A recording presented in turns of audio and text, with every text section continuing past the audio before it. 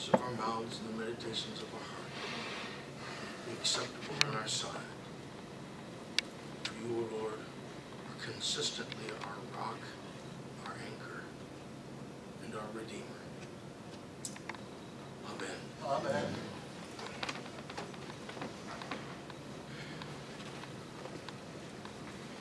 In times like these, we need Savior.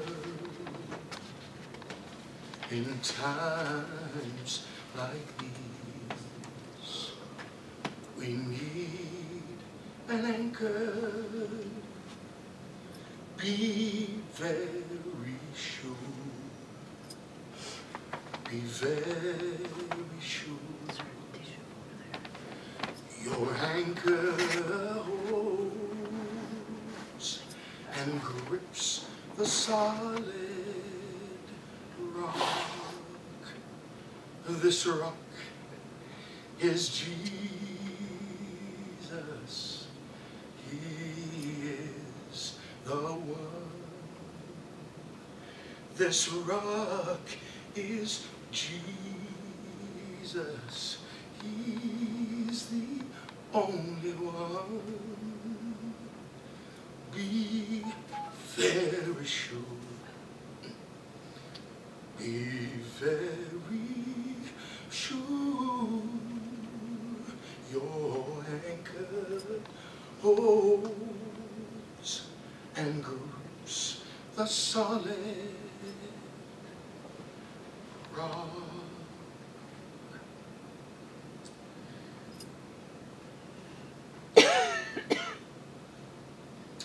Indulge me as I share with you words from my printed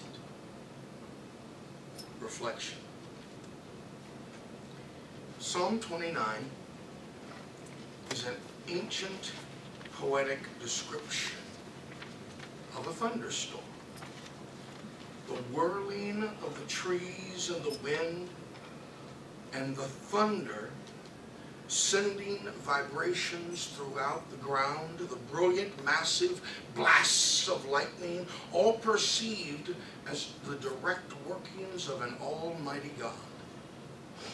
On the seas, storms wreak the tumultuous tempest. On the land, even the very mountains are startled by the cosmic cacophony. cacophony. For the primitive mind, storms were just theophanies, magnificent manifestations of God's power and glory, displays that invoked awe and reverence. The ancient writer did not have the meteorological information or understanding of our local TV weather personalities. For the psalmist, storms happened beyond our control and beyond our discernment. There is no right or wrong, good or bad, reward or condemnation. It rains on the just as well as the unjust. We usually don't mind a little rain every now and then, but storms, those we could do without. They are frightening and overwhelming, and they leave us helpless, leave our helpless mortality exposed. Metaphorically, the image of storm is quite accurate when compared with the crazy and horrific events that often transpire in our lives. Since, quote, storms, unquote, are inevitable and avoidable, the question arises, how do we handle storms? Sickness, financial distress, job insecurity, family turmoil, mental and emotional imbalances, all are examples of storms that rise and billow in our lives like cumulonimbus clouds. when storms come, all we can do mm, is seek shelter. The storm will rage in its required time, but while it rages, we need refuge mm, to ride it out. until it passes. We would think that it would be obvious for us to recognize when storms are raging inside or outside of us. But unfortunately, too often, we find ourselves whirling, twisting, and turning to and fro in confusion and bewilderment, reacting, Lord have mercy, mm. to haphazardly to our current experiences and circumstances. We are in grave danger if we fail to realize the reality of storms, whatever form they take. The best storm indicators, and this is something I really want to, I want to focus on today. The best storm indicators and warning flags are our negative emotions. Or let them, we let, like like negative emotions. Hold on, I lost my place here. Despair, jealousy, hatred, bitterness, numbness, helplessness, hopelessness are all examples, and the list can go on. Usually we just react to our negative emotions or let them control us for a while. And of course, we know the consequences lead to nothing but destruction and pain. We become the storms in the lives of those around us. Not only are you and I trying to figure out how to cope with our storm,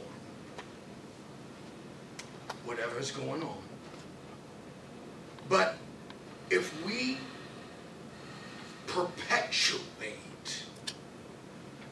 our negative reactions to our storms, it becomes exponential to all those around us.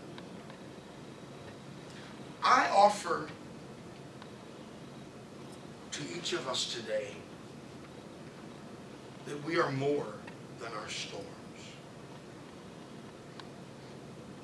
We are more than our storms. That indeed, we are above and beyond our storms because of faith, hope, and agape love. In the gospel lesson today, we have the character that we're being introduced, Nicodemus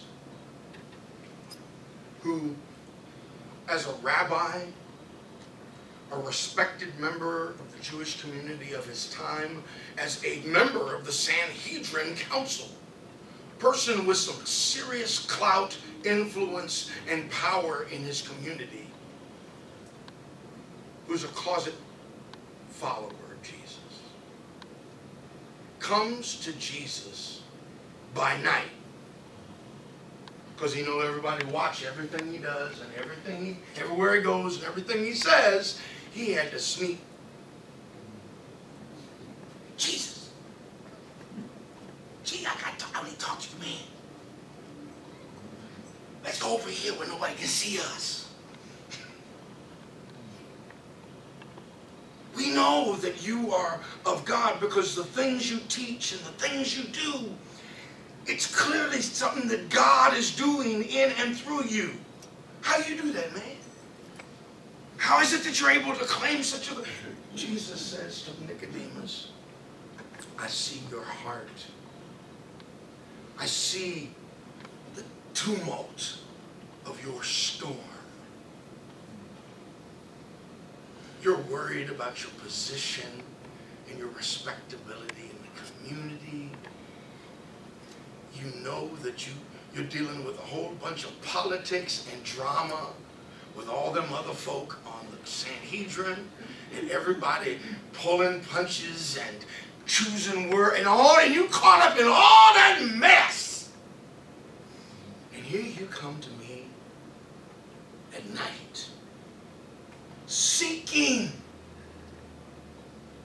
refuge seeking shelter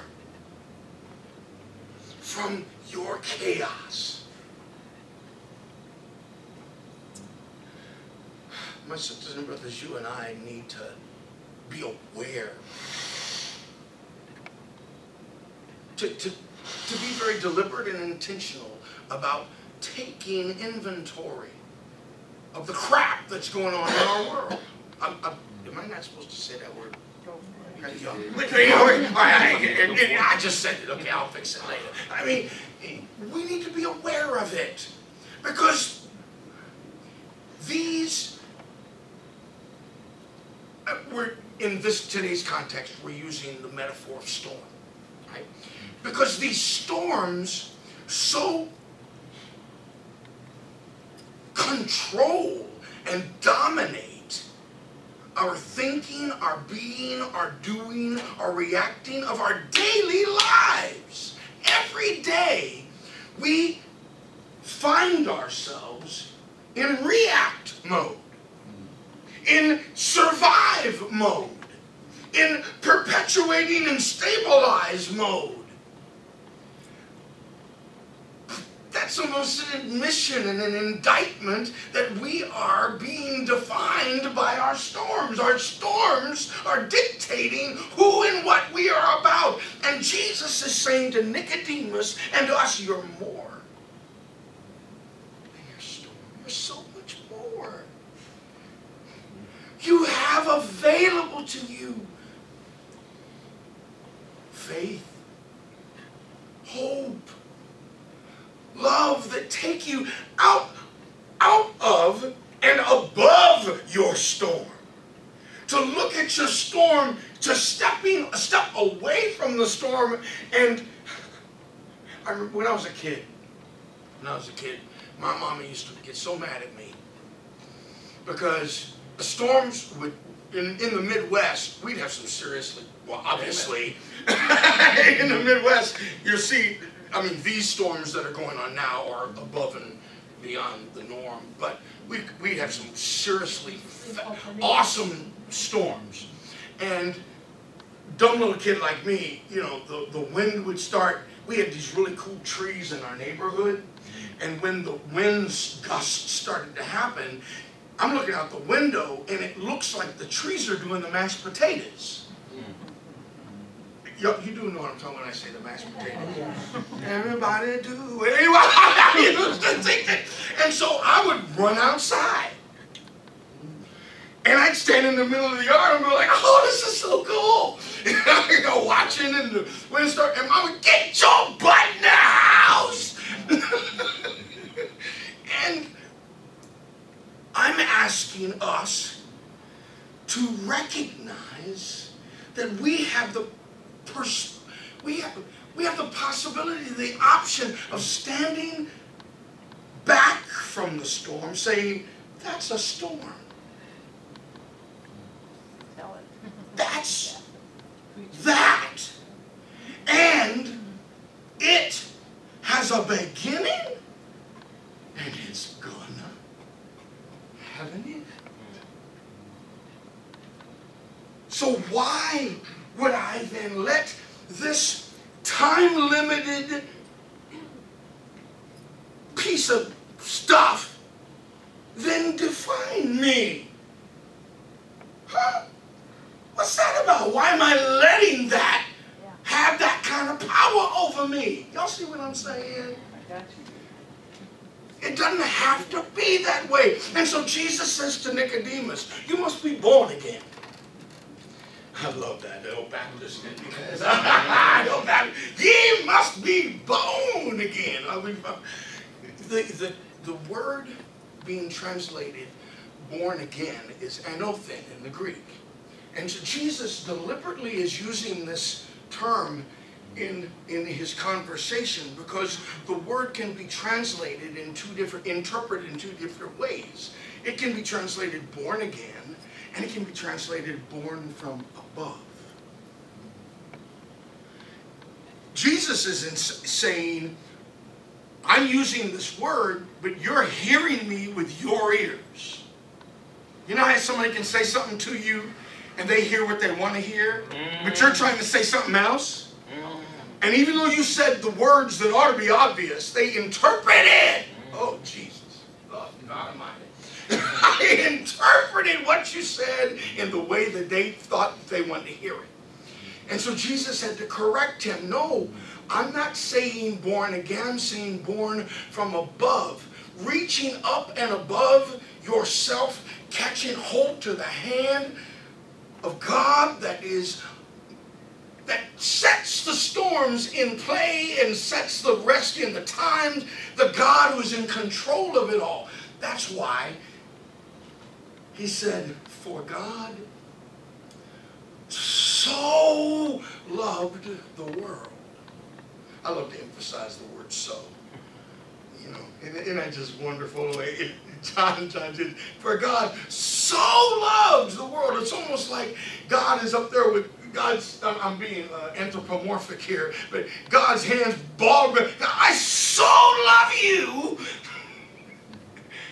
that I'm going to send my only begotten Son to die for you and rise again for you. To show you that you have available to you all that you need and more to live life. Because Jesus said this numerous times, especially in the Gospel of John. I came that you might have life and have it abundantly. Having life and having life abundantly is so much more than just living in this little box of reactive. I'm, I'm reacting to all the stuff that's going on in my world. Because that, that's all it is. It's a, it's, a, it's, a, it's a little box that we're letting ourselves climb in and live in. And Jesus is saying, get the box. Drop the box. Open up the box. The Spirit is in you. The Spirit is with you from above. When he says, be born from above, is claiming the Spirit of God that is available to you to help you walk with your chest out and your shoulders back and your head erect and say, I am more than a storm. I am more than a conqueror. I am a victor, not a victim. So,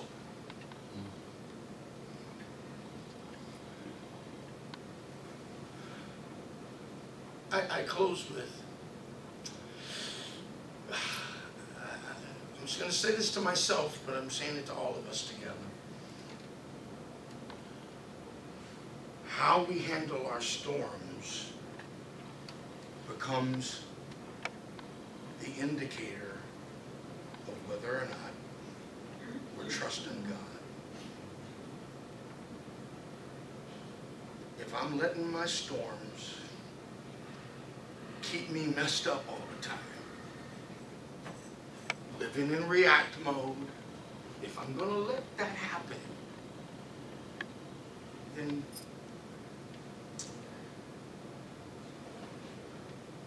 I need to remind myself whose I am. God is in you. God is with you. God promised to never leave you nor forsake you. And God says, do you believe me? I told you I'm not going to leave you, that I'm with you through the storm. I told, I'm telling you that I lived and died and rose again so that you could have faith, hope, and love. I did all these things so that you can have them and live life abundantly. And if you stay over here, sitting in your pile of stuff, hmm. that's your choice. Nobody gonna make you get up out of your stuff. You gotta choose to get up out of your stuff. Out of your storm. I'll call it storm. That's better to say storm. I don't want to be offensive today. I mean, but I offer this. I remind, let's remind one another that we've got so much more. That's why I sang that song at the beginning. The rock is Jesus. He is the one. Be very sure your anchor have a hold of the risen one, the Messiah, the anointed one. Get Christ and hold on. And the victory that Christ won on Calvary and in the empty tomb is available to each of us to overcome anything. That's why the Apostle Paul said, I can do all things through Christ who strengthens me. Would you pray? We thank you, dearest God, for hope and faith. And we thank you especially, oh God, for your agape, unconditional love. Help us, O oh Lord, to truly trust in the hope that you provide, in the refuge and the rescue and the shelter that you give, that we may then live and live abundantly. Amen.